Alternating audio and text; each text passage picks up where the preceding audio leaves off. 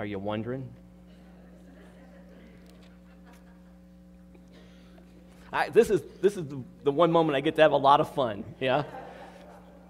Well, if you would take your Bibles and turn with me to 3 John. 3 John.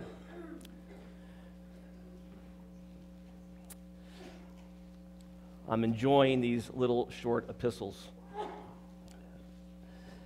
And this little epistle really packs a big theological punch. The shortest epistle, just 200 words. The shortest book of the Bible has more verses than Second John, but fewer words. And so, um, but we will glean much from it. And just so you're not concerned, I did communicate with Joel about this, so I'm not trying to steal any of Joel's thunder. So, um, he, was, he was more than gracious uh, about that. And uh, he said, go for it. So here we are. So we're going to take our time to unpackage this wonderful little epistle um, and to spend some time understanding it. And we're also going to look at Second John because there's some things in Second John that correlate with Third John that will help us understand what is going on and give us some context. Joel has done a great job in, in First John, and so um, he, he has set the table well as it relates to the issues that were attendant with what was going on in the church at that time and, and the theological issues that were a challenge uh, that folks were facing. And I'll take some time again this morning to do that as well in terms of making certain we understand uh, the context. Before we get into uh, 3 John, let's go to the Lord in prayer. Lord, we do thank you for this time to be gathered together as your redeemed. Um, we just sang that great song, Worthy is the Lamb. And even this moment in, in glory that is part and parcel of the voice of those who have gone before, as they too raise their voices in unison, crying out and singing with great joy, Worthy is the Lamb that was slain. We also were reminded of the fact that you indeed will hold us fast through the finished work of Jesus Christ. Thank you for that. Thank you for that great reminder that you indeed hold us, that you keep us, that you cherish us, that you love us. And you demonstrate that love towards us, not only by giving us your Son, but by allowing us to be part and parcel of this beautiful fellowship, the church, the bride of Christ. May we treasure it and, and cherish it. And we thank you, Lord, again this morning for bringing Chris and Nancy Shank to us and, and your good providence, bringing them to this congregation and, and, and now leading them to become involved as members. We're so grateful for that, Lord. You are loving and kind and beneficent, um, and we accept them as a gracious gift to us from you today. Thank you, Lord, for that. Bless us as we study your word. Thank you for the opportunity to have it. We understand that many around the world do not. And those who would love to have it, help us, Lord, to be mindful of what they would miss that we might take for granted. Um, help us to cherish your word more than we have before. We pray in Christ's name. Amen. Let's just go ahead then and read 2 John, and we're going to read 2 John and 3 John. And then we'll, we'll begin to lay the foundation and the framework for, these, for this little epistle, 3 John, and incorporating some of the content of 2 John in consideration of what um, John's concerns were at this time. Verse 1 The elder to the chosen lady and her children whom I love in truth, and not only I, but also all who know the truth. For the sake of the truth which abides in us and will be with us forever. Grace, mercy, and peace will be with us from God the Father and from Jesus Christ, the Son of the Father, in truth and love.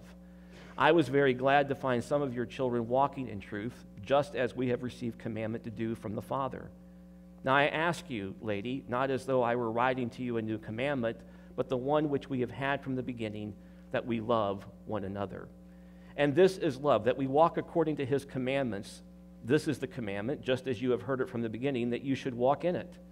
For many deceivers have gone out into the world, those who do not acknowledge Jesus Christ as coming in the flesh. This is the deceiver and the antichrist. Watch yourselves, that you do not lose what we have accomplished, but that you may receive a full reward. Anyone who goes too far and does not abide in the teaching of Christ does not have God.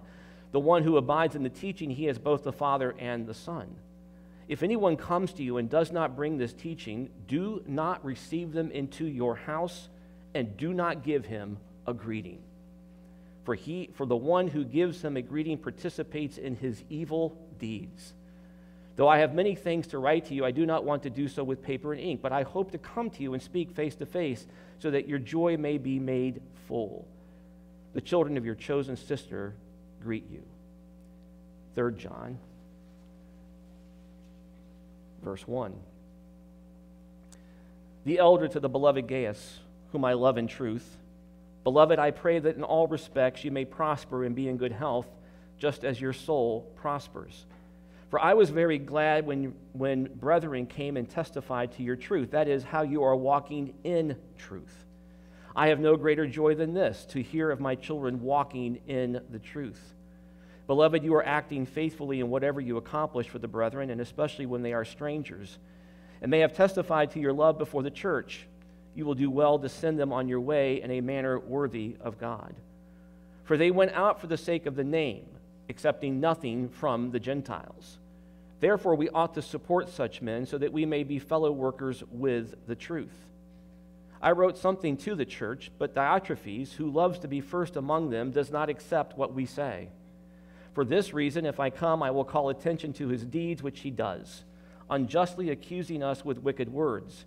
And not satisfied with this, he himself does not receive the brethren either, and he forbids those who desire to do so and puts them out of the church. Beloved, do not imitate what is evil, but what is good. The one who does good is of God, the one who does evil has not seen God. Demetrius has received a good testimony from everyone and from the truth itself and we add our testimony, and you know that our testimony is true. I have many things to write to you, but I am not willing to write them to you with pen and ink. But I hope to see you shortly, and we'll speak face to face. Peace be to you. The friends greet you. Greet the friends by name. Well, we have this wonderful little epistle. Um, it doesn't get a lot of attention. Um, and it's quite unique. And we have here a theme that's important to John, and that is the issue of the truth. Both the second epistle, Second John and Third John, concern themselves with the truth. You'll see that that word is frequently referenced in both epistles. And of course, John is concerned about the truth, and he is concerned about the error that is permeating the church at that time as it relates to an attack on the deity of Jesus Christ. It was a form of Gnosticism that basically said that um, Jesus was the flesh part, Christ was the spirit part, and the spirit came and covered, hovered over Christ, but the two were, were not united. Because the flesh is fallen and wicked and evil, and so the two could not be combined. And so they rejected the deity of Jesus Christ. And so John is very concerned about that. And, and what we would understand then from church history, many believe that this epistle was written um, uh, sometime between 80, 80 and 95. John is quite old at this point in time. He has been released from the Isle of Patmos, where he was working in a mine. Um, and he's older, he's much older. Um, he's the longest lived disciple at this point in time, the only surviving one at this point in um, the, of, of, those who would have followed Christ in the context of being a, a disciple. He's an apostle at this point in time, and he's in Ephesus, many believe, um, as he's working with the church there and pastoring and also training other men to be elders and pastors in the church. So he's concerned about what's going on in the church, as he would be. And his primary concern is essential to the church, is it not? It's about who is Jesus Christ. Because if you get Jesus Christ wrong, you get it all wrong, right? And so that's a massive concern for him. And so many believe that the, that, that the content of the letter that Diotrephes would ultimately reject is the Gospel of John and Second John. So that's significant when you consider what's taking place here and what John would have written. Now, I want you to think about the Gospel of John for a minute. That's no small undertaking. It's a theological masterpiece and its focus is, unlike it, the other Gospels tell us about um, the things that Jesus did and his miracles. But the Gospel of John is different from the other three Gospels in that its focus is on who is Jesus and his relationship with the Father. That's very important. And so we'll find later on as we work into this passage and into this book that this error was permeating the church and being worked into the church. So much so that you have a fellow like Diotrephes rejecting those who were bringing the letter, who many believe to be um, the, the fellow referred to in verse 12, Demetrius, who was the courier for these epistles um, and likely the Gospel of John to these churches. So it's significant. Now, there's interesting characters in these epistles. Um, in 3 John, in particular, we have four people we have John, we have Gaius, we have Diotrephes, and we have Demetrius. A study in contrast, if there ever was. Four people that we can look at and learn much from. And we also find then, too, like with Philemon, Gaius also has a good reputation.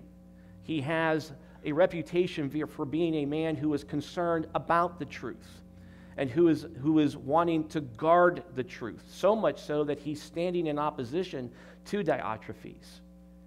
And we'll learn much more about Diotrephes. His, his name is unique, it means the offspring of Zeus. So he's Zeus baby.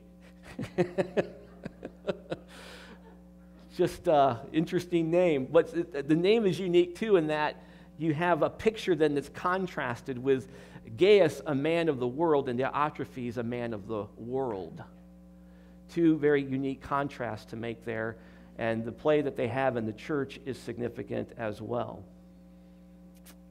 I thought this would also be a good occasion as we have uh, two young men in the church who are aspiring to be elders to understand what a bad elder looks like.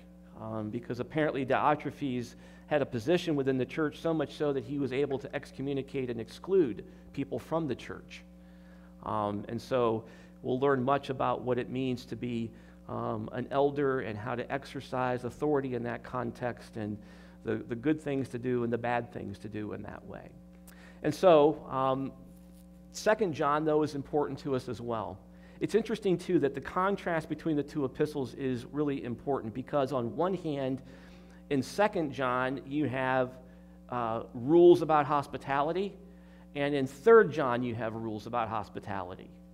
In Second John, John specifically tells you you don't bring the people into your home who are teaching error. What that communicates to us is how zealously and jealously we ought to be concerned and guarding the truth. How important is the truth? And it also begs the question what is the truth? What is the truth that John is concerned about, and what is the truth that he's guarding? Well, again, it goes back to who is Jesus Christ. It goes back to the work and person of Jesus Christ, the sufficiency of his work, the acceptance of his work by the Father, and the fact that he is indeed capable of being our Savior. Keep in mind, if we don't have that, if his person is attacked, then we have nothing. We have absolutely nothing. And so, Second John communicates importantly to us this principle of the idea about those who are attacking the work and person of Jesus Christ and how we need to be careful about what we do with them and how we accept them and what opportunities we extend to them. If you look at Second John, he says, verse 8, Watch yourselves that you do not lose what we have accomplished, but that you may receive a full reward.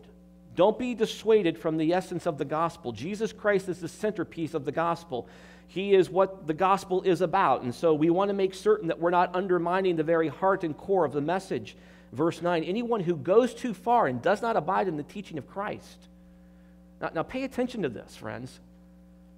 Pay very close attention to what John is saying because this theme of the truth carries over into the third epistle and is certainly integral to the gospel of John as well.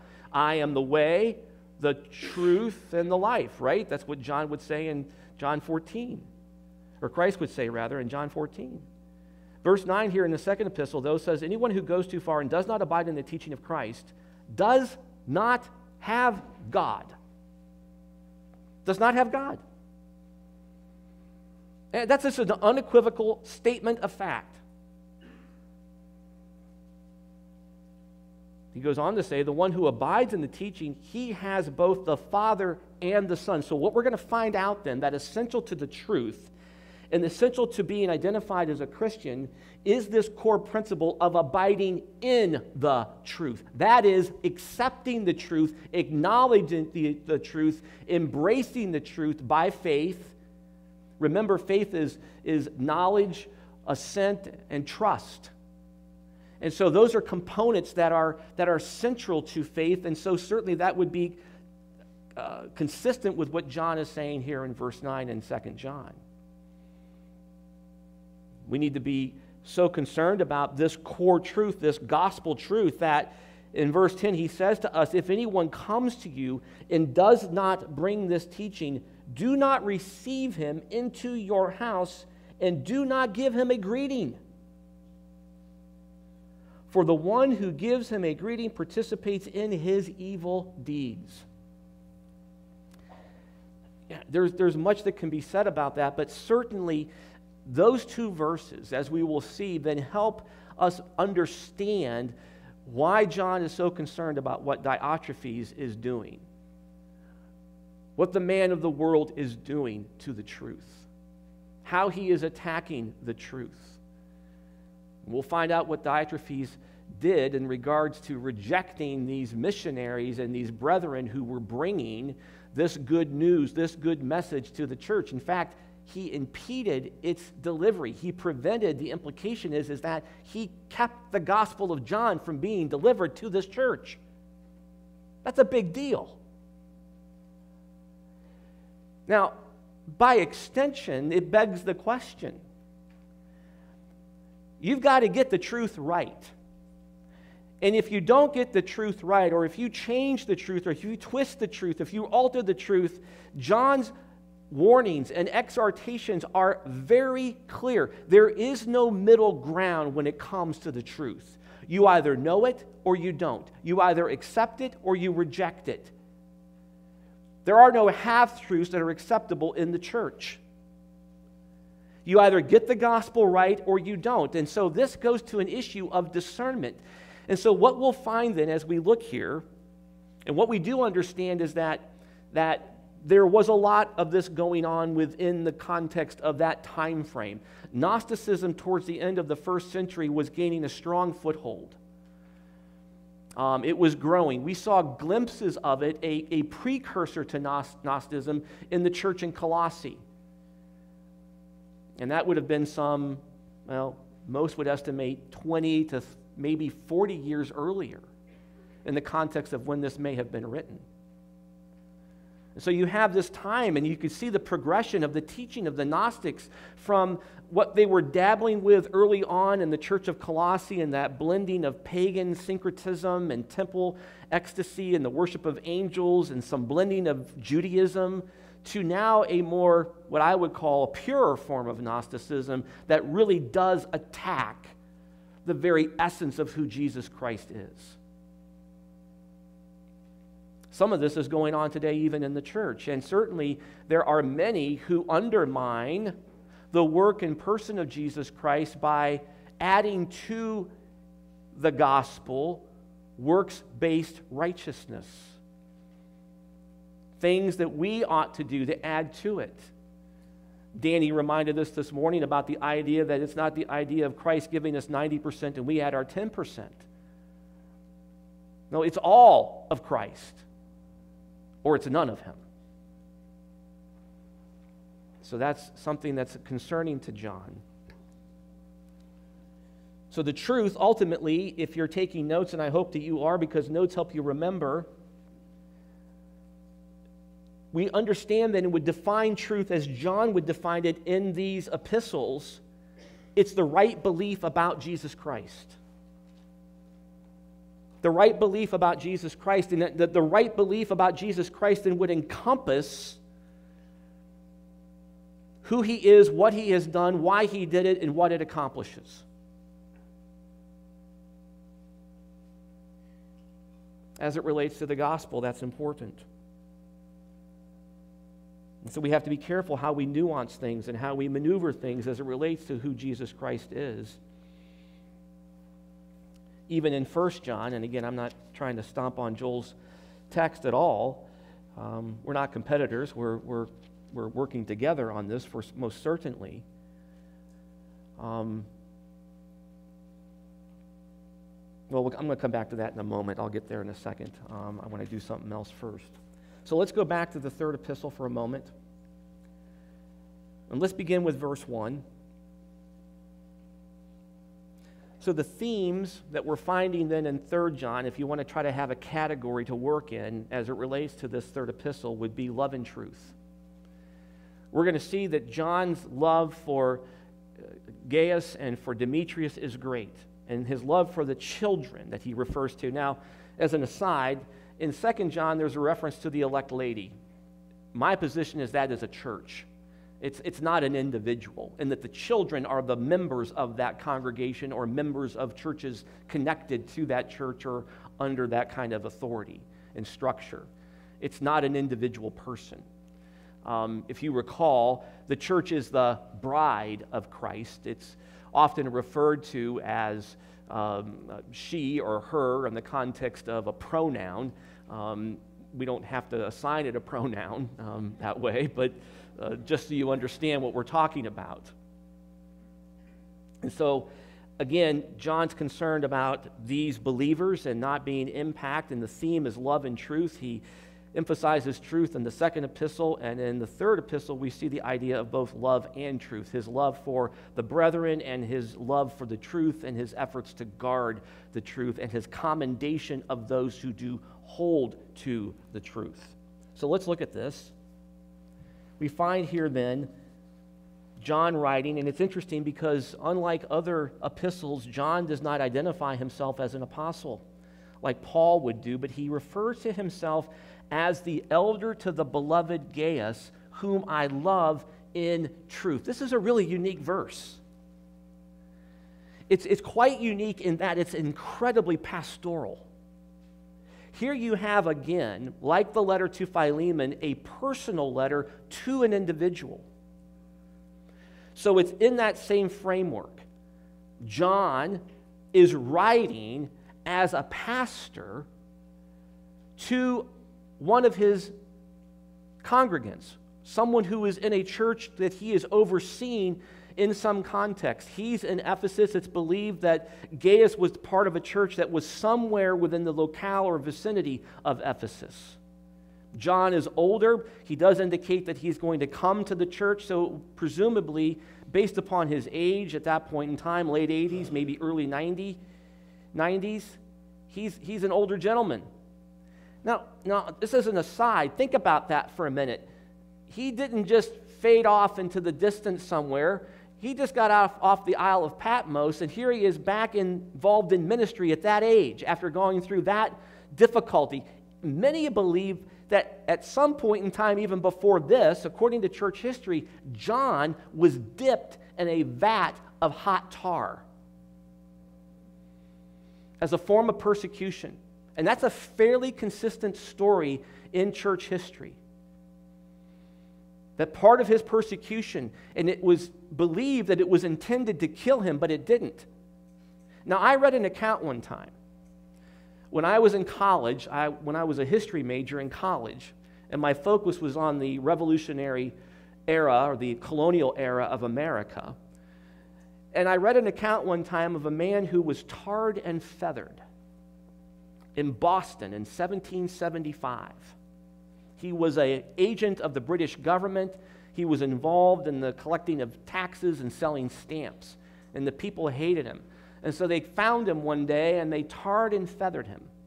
And they dipped him in a barrel full of hot boiling tar and then covered him in feathers. It took him two years to remove it all. Two years to get all that stuff off. He had all kinds of other complications from it as well because your skin has to breathe. Tar would inhibit that. And so he had all sorts of problems. So, according to at least church history, at some point in time, many believe while he was on the Isle of Patmos, or in some context there, he was dipped in some type of container of tar. Nonetheless, here he is at this old age serving and engaging with somebody as the pastor. And so, what is he going to do with Gaius in this context? He's going to encourage him and exhort him. He's going to love on him. He's going to love him in a way that pushes him to remain committed to the truth, which John is so very concerned about. Because again, the truth is connected to who is Jesus Christ. And so in this verse, first, we see this the elder to the beloved Gaius. So let's talk about this for a moment. Here, John identifies himself as the elder. And, and what we understand is that the meaning of the word can mean an older man, but comes also to convey ideas of respect, authenticity, and integrity. In this context, as a, as a biblical elder, he is a man of courage, commitment, and conviction. He is a man of authority rooted in spiritual maturity. And indeed, John is such a person. He is that man but he's also tender in the context of the balance of these various attributes courage, commitment, conviction, authority rooted in spiritual maturity. These are the things that an elder is, would, would, would demonstrate and have as part and parcel of their position and their ability to serve in that capacity. But he also is able to balance all those things with a loving care and concern for one of his congregants about his relationship to the church and what he's doing to protect the church. And so he says to Gaius, he calls him beloved. Beloved. The elder to the beloved Gaius, whom I love in truth.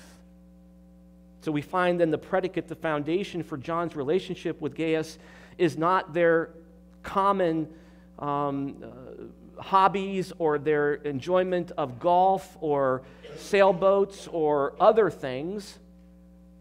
It's the truth. It's the truth that binds them together.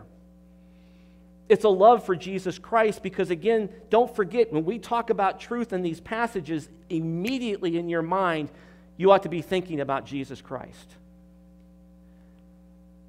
So when I say the truth, you ought to just say in your mind, Jesus. because this is what John is doing. He loves Gaius in Christ. He loves him in the truth that is attendant with all that Jesus Christ is. They have that common bond, they have that forever bond. Remember in Philemon, Paul would exhort um, uh, Philemon to accept Onesimus as a brother, and you will have him forever. He is your forever brother. And John captures that very same idea here as well even the use of this word I is in a context and a grammatical structure and case that emphasizes the significance of the love that John has for Gaius. What I like about this, too, friends, is that as we examine this, it says to us the importance of these, these, these relationships and these bonds of fellowship that we have that God has uniquely given to us in Jesus Christ, that they ought to be treasured, that they ought to be captured, cultivated, and pursued vigorously. It's no small matter. I'm going to say this clearly. It's no small matter that you are here, that God has brought you together in this body to know each other, to fellowship with each other, that there is a unique bond that eclipses even family relationships.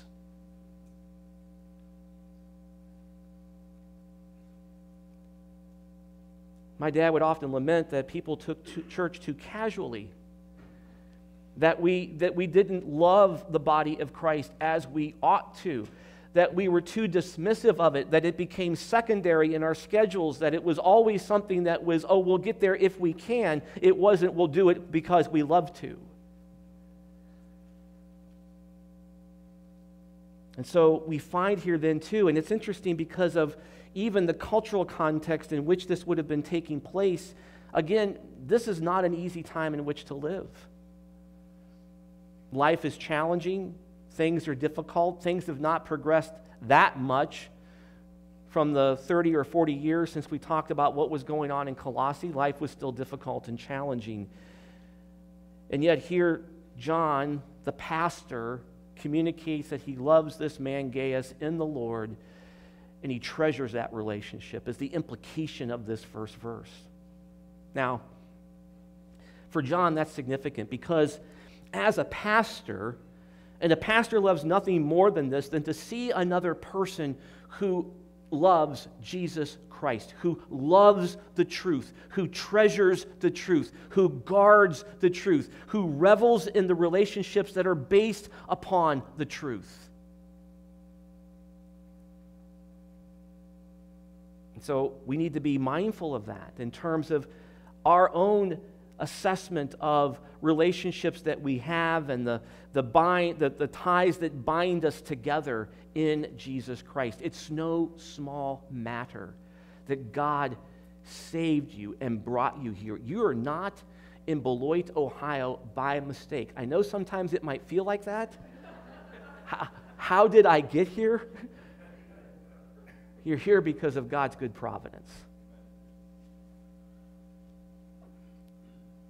And so there's just so much here. Now, again, at, at, this point in time in church history, too, the presence of a person like Gaius in the church would have been significant for Paul as a pastor. Because one of the things that a pastor wants is he wants other men with him who will also guard the truth. It's not easy to be a pastor. It's not easy to be the person who has to stand in front of the congregation day in and day out and hold up the Word of God and proclaim the gospel and preach the gospel and do so with a consistent level of conviction and clarity and concern. And it's always welcoming to a pastor when there are other men who come alongside to aid in the endeavor to communicate and guard the truth. That's what an elder does lead, feed, protect. And so John is reveling in that relationship too because it's a challenging time to live. There, there was error that was corrupting the work and person of Jesus Christ. The church was under attack. Diotrephes was attacking one of the sister churches in the region.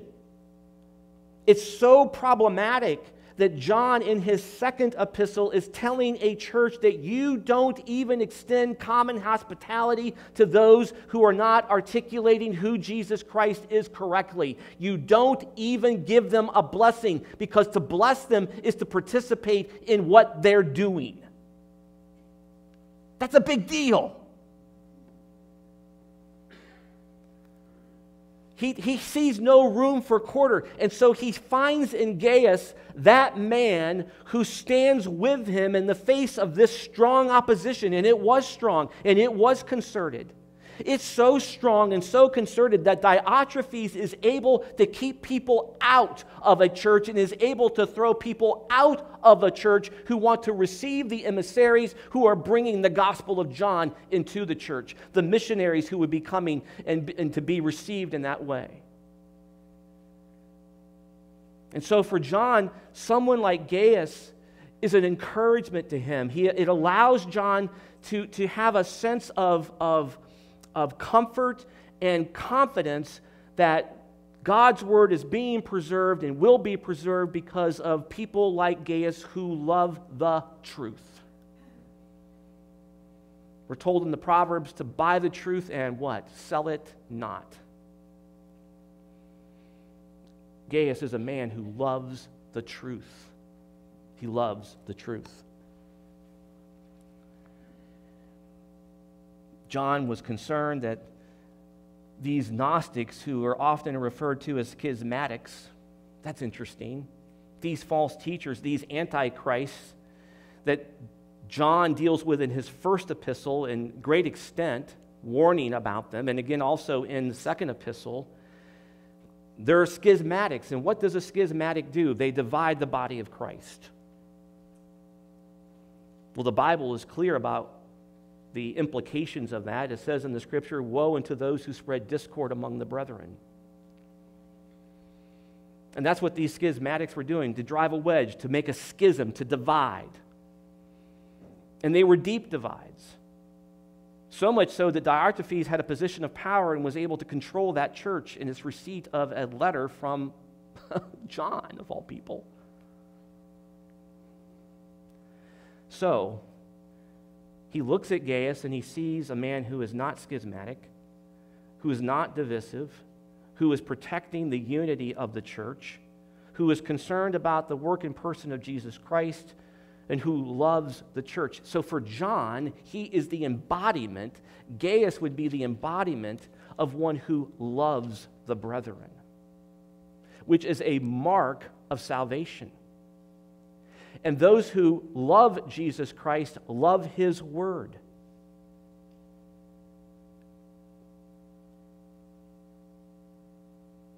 Look at 2nd, 2nd John.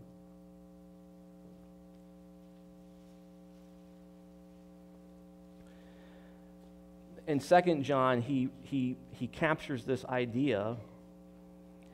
And this is love. Verse 6 of 2nd John. And this is love, that we walk according to his commandments. This is the commandment, just as you have heard it from the beginning, that you should walk in it. And verse 7 goes on then to say, For many deceivers, these schismatics, have gone out into the world, those who do not acknowledge Jesus Christ as coming in the flesh. This is the deceiver and the antichrist. Now, again, Eh, central to this is not only the idea of that Jesus Christ did not come in the flesh, but that he therefore is not the Savior which then takes us into a works based form of righteousness, which we found to be present in the teaching of the false teacher in Colossae. Do not touch, do not taste, remember?